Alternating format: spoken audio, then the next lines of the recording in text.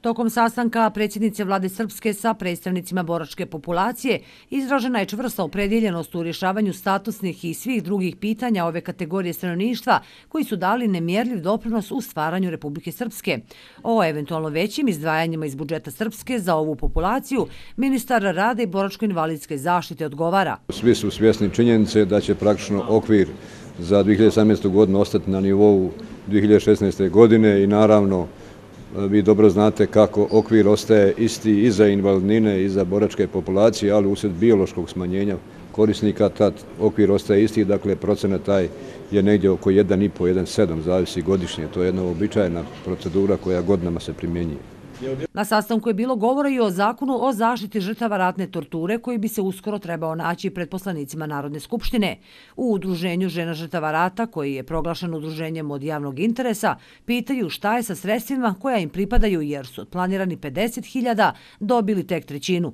Ja sam i sad rekao na sastanku, pa makar se da ljutili, ovaj, da smo znali da će nam biti ovako teška godina za aktivnosti i da sve radimo o svom trošku. Pustite nas da idemo u E, tržne centre, da stavimo kutiju, da skupljamo sve humanitarni prilog. Pa da imamo za žene, da damo za lijek, da imamo za banju, da imamo za psihološku radionicu. Puste nas u nešto.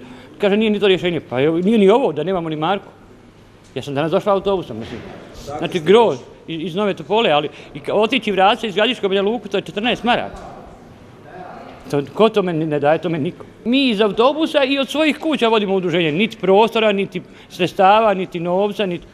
Kada je u pitanju problematika ratnih vojnih invalida, bar prema obećanjima premijerke neće biti umanjenja prava, ali bi moglo doći do povećanja invalidnina u 2017. godini za oko 1,7%.